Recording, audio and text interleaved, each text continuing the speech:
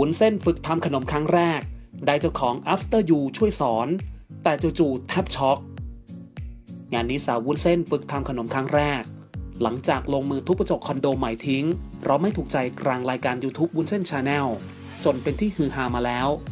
ล่าสุดนั้นครับ EP 6 สวยเป๊ะตัวแม่อย่างวุ้นเส้นวิลิธิภาพักดีประสงค์นั้น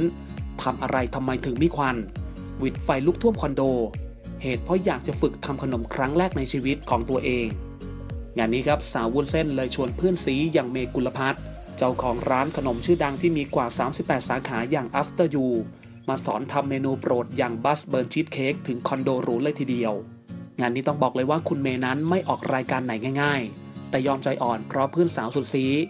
งานนี้ครับสาววุ้นเส้นเลยตั้งใจสุดๆทำทุกขั้นตอนด้วยตัวเอง แต่ครั้งแรกของวุ้นเส้นครับก็เป็นเรื่องจนได้ เมื่อจู่ๆนั้นเตาอบก็มีไฟพรึบขึ้นมา เพราะคำว่ากระดาษต้องสูงสูงของเมย์เพื่อนสุดเลิฟของวุ้นเส้นนั่นเองครับ งานนี้เพื่อนสาวคู่สีคู่นี้ครับ ก็เลยพากันช่วยดับไฟ ก่อนจะเอากระดาษรองขนมที่ติดไฟนั้นออกมาได้ทันเวลา งานนี้ครับเอาเป็นว่าทุกคนนั้นย่อมมีครั้งแรกเป็นของตัวเอง ความพยายามอยู่ที่ไหนความสำเร็จอยู่ที่นั่นครับ ต้องบอกว่าสู้ๆครับสาววุ้นเส้น เป็นการลงมือทำขนมครั้งแรกในชีวิตของตัวเอง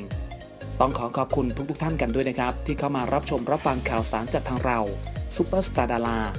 แล้วก็อย่าลืมเข้ามาติชมหรือคอมเมนต์มาร่วมรับฟังข่าวสารการอัปเดตใหม่ๆ จากทางเราได้ตลอดเวลากันเลยนะครับ